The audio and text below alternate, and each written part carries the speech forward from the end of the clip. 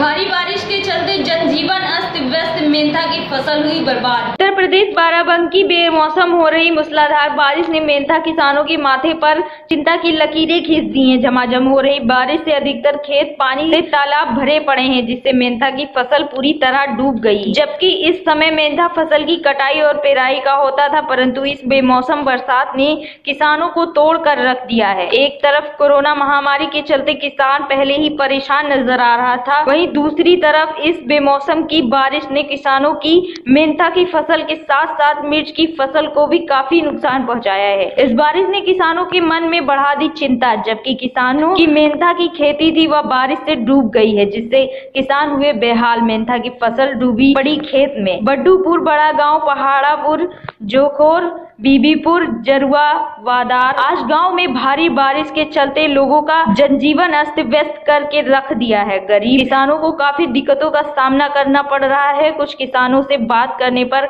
बताते हैं कि इस फ़सल से काफ़ी उम्मीद थी और इस वर्ष फ़सल की काफ़ी अच्छी थी। मगर इस बेमौसम बरसात ने सब कुछ तबाह कर दिया। खेतों में अत्यधिक पानी भर जाने से फ़सल सूख गई है। वहीं बची सूखी, बची खुची जो भी है तो उसमें तेल भी नहीं निकल सकता है। बात मुनाफे की नहीं है। खत्म हो गई, लेकिन लागत भी नहीं निकल पा रही है।